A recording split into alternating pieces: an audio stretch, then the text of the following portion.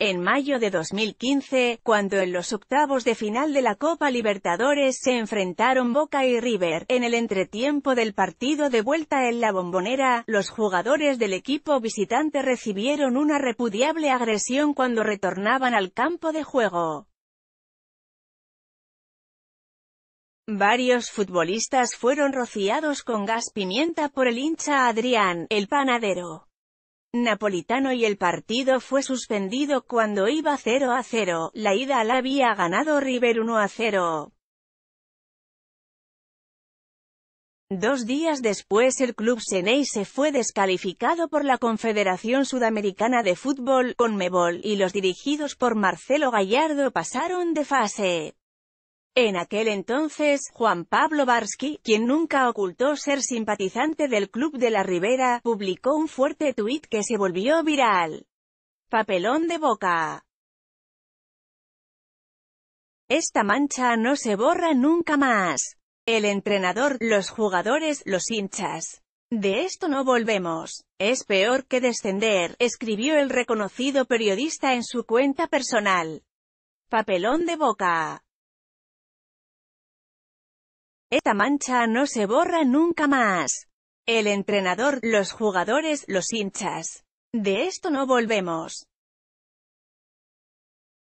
Es peor que descender. JPV, arroba JBarsky, 15 de mayo de 2015 El sábado pasado, luego de la primera suspensión de la superfinal, Barsky apuntó contra el club de Núñez por las agresiones al micro Seneise.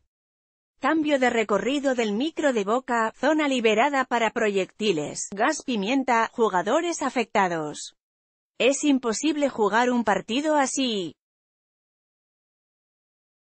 En nombre de la pasión, hicimos mierda al fútbol. Papelón de River esta vez. Esto también es peor que descender, escribió, haciendo tácita referencia a su comentario de 2015. Al ver su tuit, Jorge Rial, hincha de River que había estado en la cancha junto a su pareja, le salió al cruce.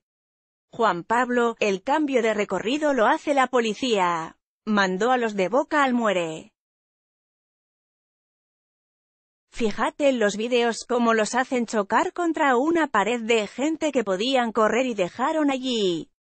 Comparar esto con el descenso es canallesco y para cubrir la responsabilidad de la seguridad, le escribió el conductor de América, hincha del millonario. Sin embargo, el recorrido que hizo el micro de Boca fue el mismo que hacen todos los equipos visitantes, llegan por Avenida Libertador y doblan el Lidoro Quinteros, Boulevard que sale derecho al vestuario visitante. Barsky no le respondió a Rial. Pero minutos más tarde justificó su análisis. El episodio de 2015 se produjo durante el partido y en el mismo estadio. Esto pasó afuera y antes del juego. Importa, solo cuando se dé la discusión jurídica respecto de sanciones.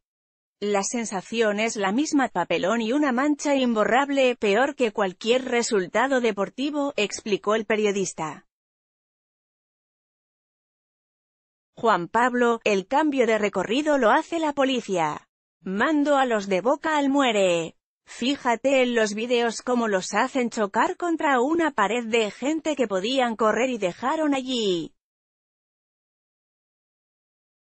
Comparar esto con el descenso es canallesco y para cubrir la responsabilidad de la seguridad, Jorge Rial, arroba a Rial Jorge. 24 de noviembre de 2018 El episodio de 2015 se produjo durante el partido y en el mismo estadio. Esto pasó afuera y antes del juego. Importa, solo cuando se dé la discusión jurídica respecto de sanciones. La sensación es la misma papelón y una mancha imborrable, peor que cualquier resultado deportivo, JPV, JBarsky, 24 de noviembre de 2018.